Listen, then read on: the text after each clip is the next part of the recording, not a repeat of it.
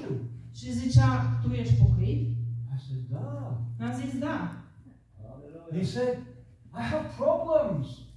Și zicea, eu am probleme, uite. I have a family.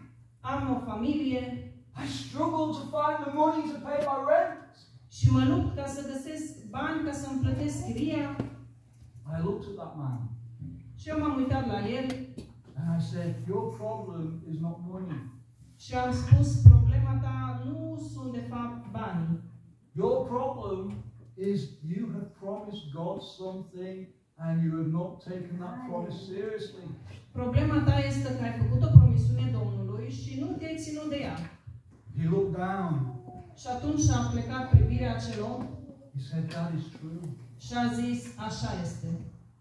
Once I was in prison Cândva eram în pușcărie, zicea el. And I knelt down with tears in my eyes before God. Și atunci am îngenunchiat cu lacrimi în ochi înaintea lui Dumnezeu.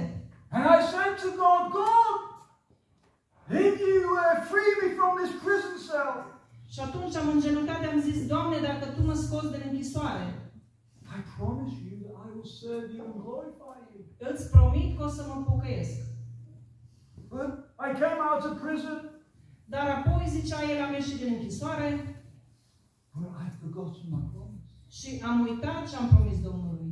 I said, go home tonight Și atunci Marc a zis, du-te în seara asta în casă and kneel, kneel down before the Heavenly Father și îngenunchează înaintea Tatălui. and confess your sin.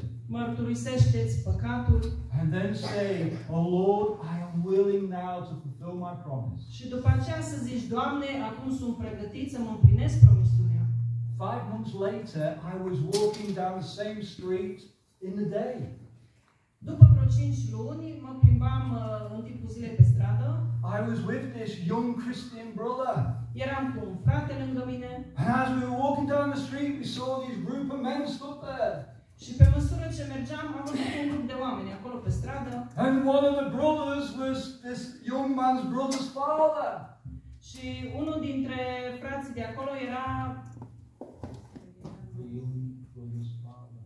Era, era tatăl acelui frate tânăr.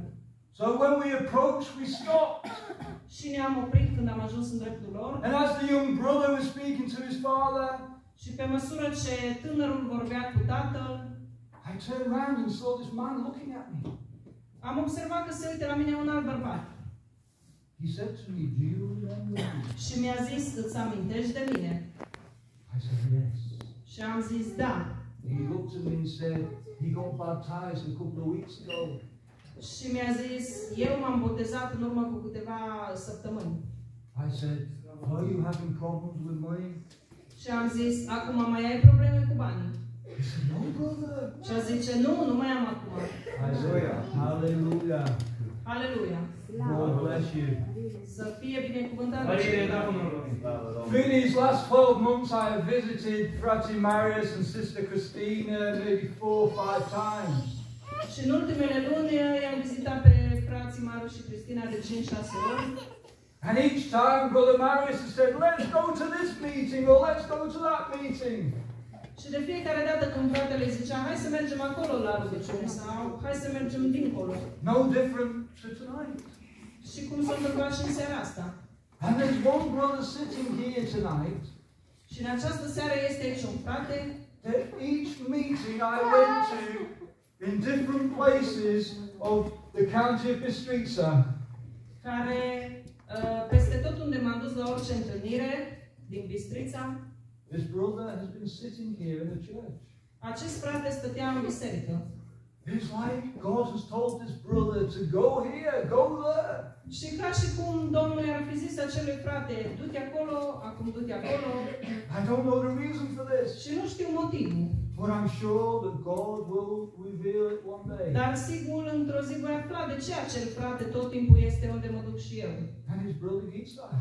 Și acela este fratele Ghiță. Each meeting I've gone to, În fiecare întâlnire unde mă duceam la biserică, he's always been there. el tot timpul era acolo, îl vedeam. But we'll see what the future holds. Dar vedem uh, ce va fi pe viitor, ce vrea Domnul. You know the story when Jesus one night was walking on water. Și știți istorioara când într-o noapte Iisus a început să umble pe ape. And the disciples were there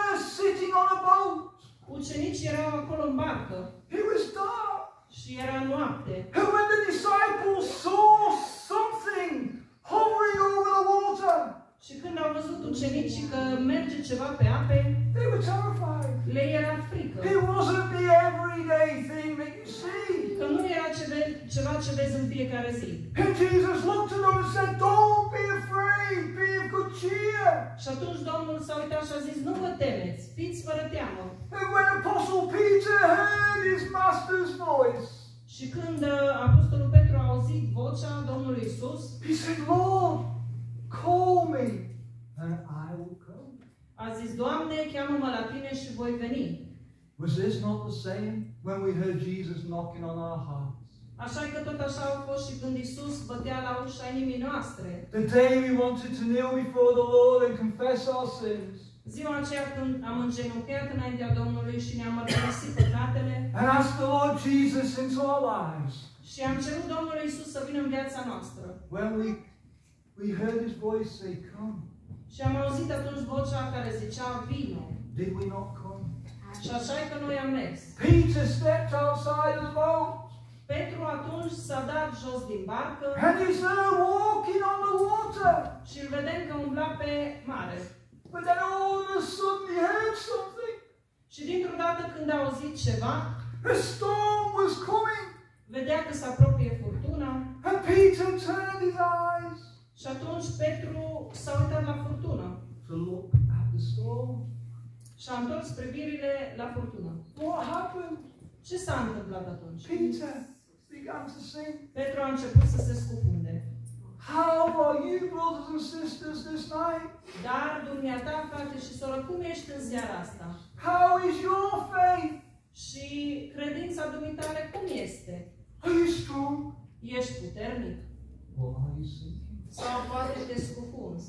Are you looking at the problems? Te uiți oare la probleme? Are you distracted with all the things that you hear?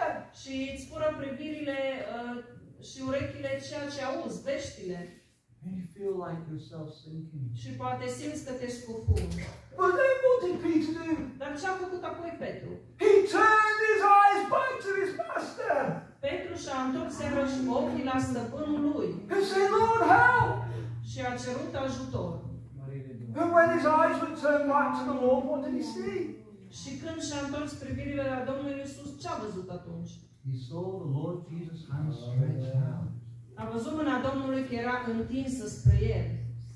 If you were feeling that you were sinking tonight, Și dacă dumneata simți că te scufunzi în seara asta, take a moment to look at where are your eyes looking? gândește-te puțin ochii dumitale unde privesc. Are they looking to Jesus? Se uită la Domnul Isus Or are they distracted with many things? sau se uită la atâtea alte lucruri. If you turn your eyes back to Jesus, Și dacă îți întorci privirile iarăși la Domnul Isus, you will also see his hand stretched out for you. vei vedea și dumneata că mâna este acolo întinsă. He desires to lift you up Pentru că Domnul vrea ca să te ridice. so you can continue to take your walk. Ca să poți să continui să mergi pe cale. We know that God does not want anyone to perish. Noi știm că Dumnezeu nu vrea ca niciunul să piară. For he so loved the world that he sent his only begotten Son. Atât de mult a iubit lumea că a trimis pe singurul lui Fiu. That if you believe, Și dacă dumneata crezi, you shall not perish. atunci nu vei pieri. May the Father's will be done this night Fie ca voia Tatălui să se facă și în această seară. through his only begotten Son, Prin singurul lui Fiu. the blessed Lord Savior, Jesus Christ, Domnul nostru, Salvatorul nostru, Iisus Hristos. and the workings of the Holy Spirit. Și prin lucrările Duhului Sfânt. God bless you. Dumnezeu să vă binecuvânteze. Amen. Haideți să ridicăm